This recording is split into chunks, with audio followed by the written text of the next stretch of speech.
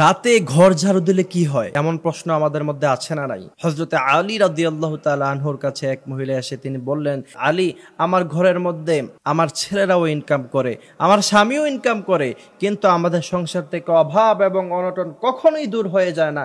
আলী রাদি আল্লাহ আনহু ওই মহিলাকে প্রশ্ন করলেন, তোমরা যখন ঘরকে পরিষ্কার করো, তখন কখন পরিষ্কার করো? মহিলা আলী রাদি আল্লাহ আনহুর প্রশ্নের জবাবে মহিলা বলছেন, আমরা সাধারণত কখনো দিনে করি অথবা কখনো রাতে করি। তবে অধিকাংশ সময় আমাদের ঘর পরিষ্কার করা হয় রাতে। অর্থাৎ রাতের বেলা আমরা ঘরকে ঝাড়ু দিই এবং পরিষ্কার করি। তখন আলী রাদি আল্লাহ তালা আনহু ওই মহিলাকে বললেন, রাতের বেলায় ঘর ঝাড়ু দেওয়া তোমরা অফ করে দাও। তাহলে তোমাদের ঘরের মধ্যে আর কোনো অভাব থাকবে না। তোমাদের সংসারে কোনো অভাব থাকবে না। তার কারণটি কি? আলী রাদিয়াল্লাহ তালা আহনু এমনটি মহিলাকে কেন বললেন সেটাও একটা প্রশ্ন আছে না নাই?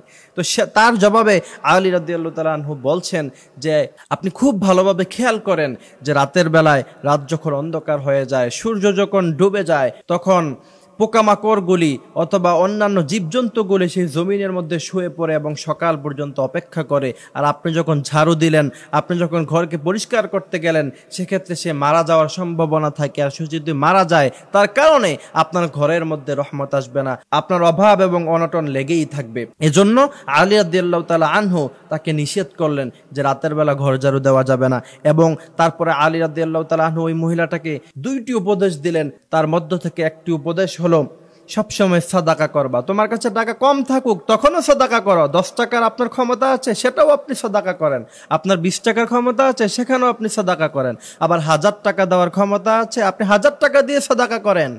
কারণ বিশ্বনবী বলেছেন, একটি খেজুর পরিমাণও যদি কেউ দান করে, সেটাকে উহুদ পাহাড় পরিমাণ আল্লাপাক করে দিতে পারেন। সেক্ষেত্রে সবসময় সদাকা করবা। আলী রাদিয়াল্লাহ তালানহু ওই মহিলাকে দ্বিতীয় নম্বরে বলেছেন, তোমাকে আমি আরেকটি উপদেশ দিই। তুমি তো আমার কাছে বলেছ যে তোমার অনেক কষ্ট তোমার সুখ কম তোমার দুঃখ বেশি।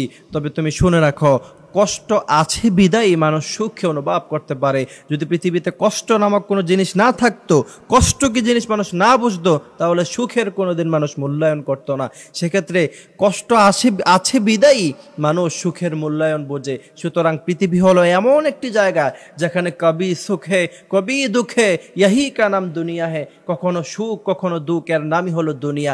আপনি সব সময় সুখী থাকতে পারবেন না। সকালবেলা আপনি সুখী, বিকেলবেলা আবার আপনার মধ্যে দুঃখ দুঃখ আসবে। আবার আপনি দেখবেন যে আপনার বিজনেসে অনেক বেশি সফলতা হয়েছে। একটু পরে শুনবেন যে আবার আপনার লসের কাতার ভারী হয়েছে।